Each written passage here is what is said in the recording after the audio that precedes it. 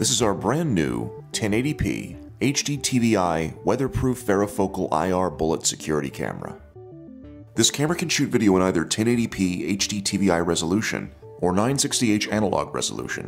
Whether you choose HD TVI or analog, this camera uses the same coax cable, so if you have an existing analog system in place, there's no expensive rewiring needed. But to utilize the HD TVI features of this camera, you'll need an HD TVI compatible DVR. It has a 3 to 12mm varifocal zoom lens, and an infrared viewing distance of over 100 feet in complete darkness.